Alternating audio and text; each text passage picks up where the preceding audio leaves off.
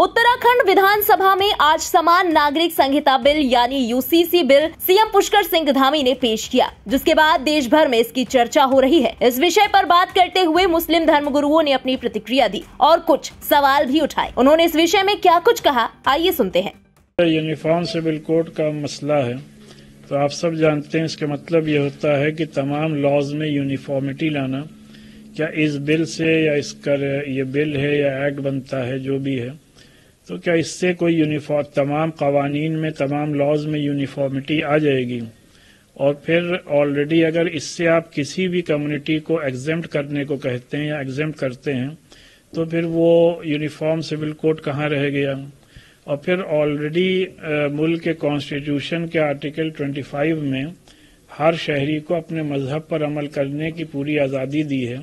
और फिर religious freedom अपने कॉन्स्टिट्यूशन का फंडामेंटल राइट हर आ, हर सिटीजन का है। तो उसको किस तरीके से ख़त्म किया जा सकता है?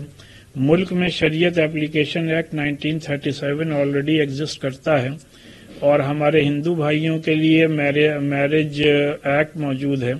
और इसी तरीके से हिंदू सक्सेशन एक्ट मौजूद है हिंदू मैरिज एक्ट मौजूद है हिंदू अडॉप्शन एक्ट मौजूद है। इन तमाम कवानीन के होते हुए इस तरीके के यूनिफॉर्म सिविल कोड की ज़रूरत क्या पेश आ गई?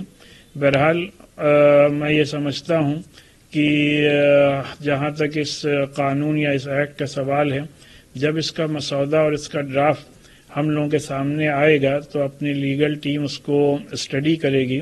और उसके बाद फर्दर कोर्स ऑफ़ एक्शन तय किया जाएगा। यूसीसी का जो बिल धामी गवर्नमेंट ने पेश किया है मैं समझता हूँ कि पूरे हिंदुस्तान में लॉ कमीशन ने सर्कुलर जारी किया था कि कॉमन सिविल कोर्ट के सिलसिले में राय ली थी।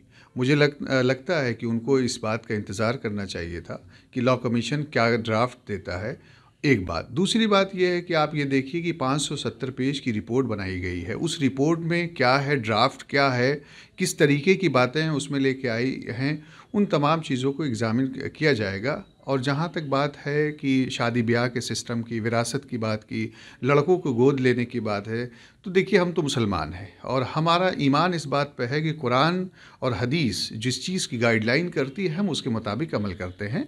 जहाँ तक मामला ये रहा कि यूसीसी पे क्या होगा, अब देखते हैं कि उसमें निकल के क्या चीज़ें आती फिर इस पर बात होगी। लेकिन लॉ कमीशन के ड्राफ्ट का आज भी हिंदुस्तान की आवाम उसका इंतज़ार कर रही है, देखती है इसको। फ़िलहाल इस पूरी खबर पर आपका क्या कहना है, कमेंट में लिखकर अपनी राय ज़रूर बताएँ। बने रहें इंडिया पब्लिक खबर के साथ। हमारे यूट्यूब चैनल को सब्सक्राइब करें और बेल आइकन दबाना बिल्कुल ना भूलें।